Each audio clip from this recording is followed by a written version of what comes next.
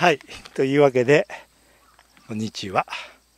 ちょっと明るすぎるかな。こんなもんかな。はい。というわけで、所さんからの手紙いただきましたっていう、まあ、自慢というかね、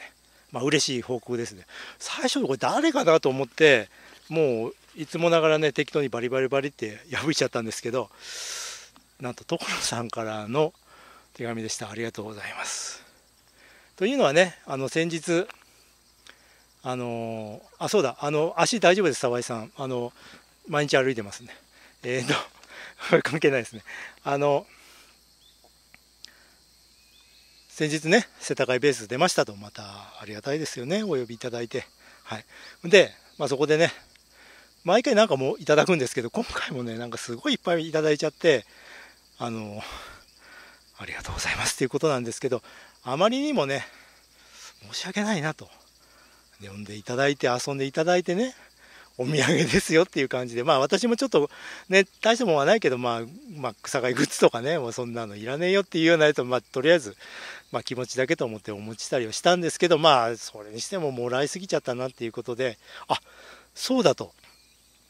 レーサーハイキャパね、この前レビューしたのあるじゃないですか。なんと所さん、そのレビューをご覧になってたみたいで、えらい気にされてるようで、もう40メートルどれぐらい精度出るの？みたいな、そういうね、そういう話もしたんですよ。すごい気にされてて。で、まあ、他の方からね、あ送ればいいんじゃないの？って言われて、そうかと思って、所さん好きじゃないですか、もう、その、もう、ガラクタって言い方変ですけど、あの、このプラスチッキーなね、こんなものがあんなになったりとかいうのをね、あの、世田谷一郎さんチャンネルっていうので、YouTube でもね、毎日楽しい動画、ほぼ毎日ですよね、上げられてるチャンネル、皆さんもご覧になってますよね、私も見てるんですけど、まあそこでね、あの、あ、関係ないですね。まあ、そういうのがあるんですけど、なんだったっけ？まあそこでもね、そう、おもちゃを、おもちゃっていうかもう、普通のプラスチックのストックをね、もうすんごいリアルなもうやつに変えたりとかするね、動画とかも出されてたりして、すごい楽しいんですよね。それで、お送りしたんですよ。まあ、あれですよ、もう失礼な話ですよ。世田谷ベースさんって、まあ、検索すればすぐ住所わかるんで、もう適当にね、あの、他にも送るものがあったんで、もう一筆もせず、まあ、どうせ、まあ、送っても、まあね、まあ、もうご自由にしてくださいっていう感じで、でまあ、何気なく送ったらね、これ手紙もらっちゃって、最初、あの、なんでしょう差出人のところがなかったんで見えなかったんでお誰かなと思ったらあとちょっとあとアクセサリーも1個あったんですけどこれが入ってたんですよ。これとあの可愛いねアクセサリーが入ってて。これ所さんじゃんって。ね皆さんこれ知ってます？97チャンネル。私も検索したら楽しいねブログの記事であの所さんのねいろいろ情報が入ってて楽しいとこあるんですけど97ドット97チャンネル .tv ですね。はいがあるんですけど、まあ、それのステッカーが入っててこれですよこれ。これ宝物でしょこれ。レーザーガン届く。サンキュー。ところ20199夏っていう。ほいですごいのがまあ私の宛名が書いてあるんだけどからちょっとお見せできないんですけど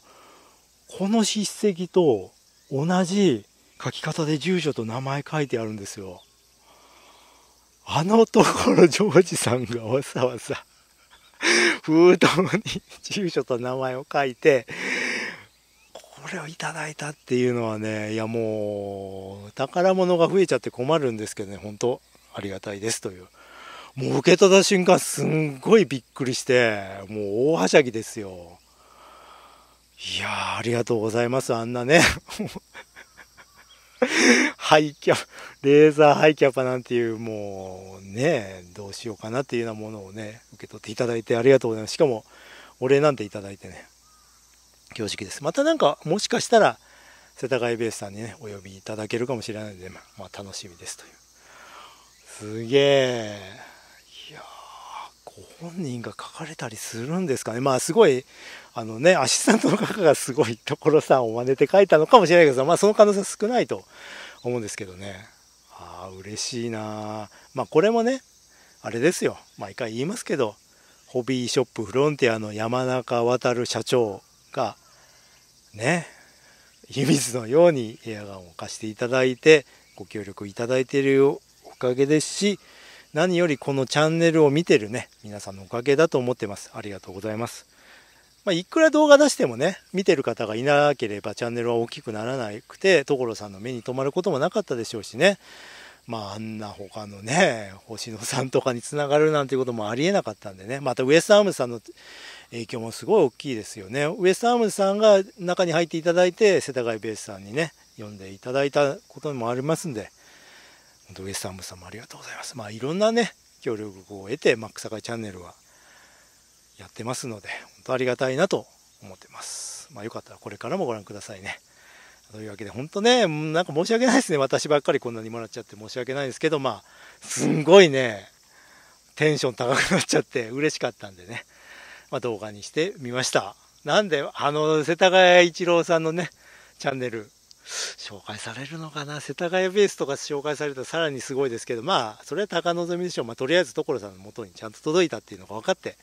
まあ自分としてもとても嬉しいです。はい。というわけで最後までご視聴いただいてありがとうございました。